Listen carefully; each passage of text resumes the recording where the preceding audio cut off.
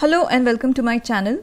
In this video we are going to solve an example from real numbers and it is a one mark question considered from a previous year question paper. Find after how many places of decimal the decimal form of the number will terminate. Now first let us understand what are decimal places and terminating numbers. Now here four numbers are taken as examples. Now here 345.1. So this represents one decimal place that is after the decimal point and it is called as a terminating number because you do not see any number after 1. Now 56.245. Now this number has 3 decimal places because after the decimal point there are only 3 digits. And this is also terminating because after 5 you do not see any number.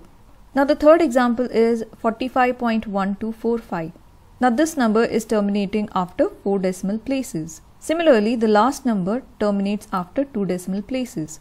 So according to the question, we have to find out after how many decimal places will this given number terminate.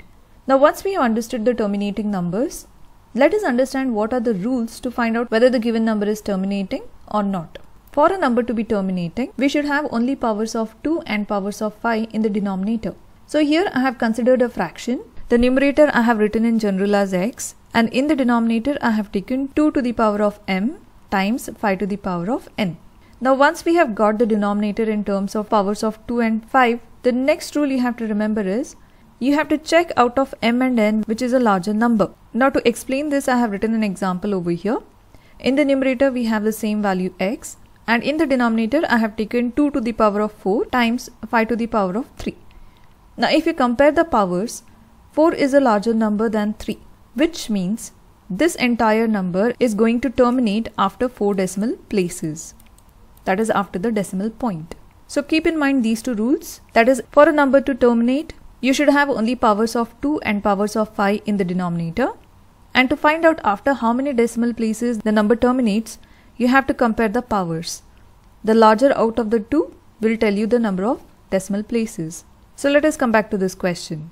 So 27 over 2 cube times 5 to the power of 4 times 3 square. Now 3 square has been simplified as you can see 3 square is 9 and rest of the terms are kept same. Now 27 and 9 go in the table of 9 that is 9 1 times is 9 and 9 3 times is 27. So now we have got in the denominator only powers of 2 and only powers of 5.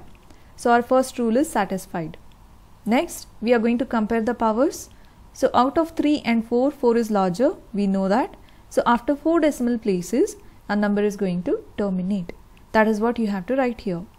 The number terminates after 4 decimal places. So you do not have to go for long division. You are going to decide depending on the powers of 2 and 5. I hope you have understood all the steps and liked the video. So if you found this question interesting, then you can check more questions on real numbers by clicking on this playlist. And if you're liking my videos, like, share and subscribe to my channel and thank you for watching.